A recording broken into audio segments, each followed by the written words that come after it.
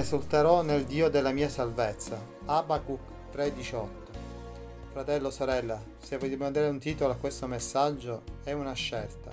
Nel corso della nostra vita attraversiamo momenti dolorosissimi e difficilissimi. La nostra relazione all'avversità dipende dalla reazione che abbiamo con Dio e dalla nostra fede in Cristo. Il, qui il profeta Abacuc, nel testo della meditazione di oggi, ci fornisce uno spunto per scegliere come affrontare la situazione della vita. Sì, la gratitudine non è, è una risposta naturale all'avversità, è una disciplina da sviluppare ogni giorno. Il salmista disse, non dimenticare nessuno dei tuoi benefici. Ed è scritto nel Salmo 103, versetto 2. In mezzo ai problemi, quando pensi che Dio non ti abbia benedetto, fermati e ricordati la sua fedeltà allora sarai colmo di gioia e gratitudine.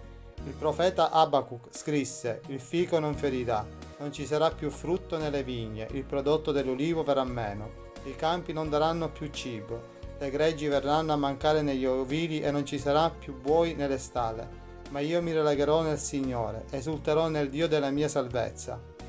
Quando prendi del tempo per ringraziare per le benedizioni della tua vita, cambieranno la tua prospettiva e il tuo atteggiamento. Confida, fratello, sorella e coloro che ascolteranno questo messaggio. Confidiamo ed esultiamo nel Dio della mia salvezza. Amen. Dio ci benedica.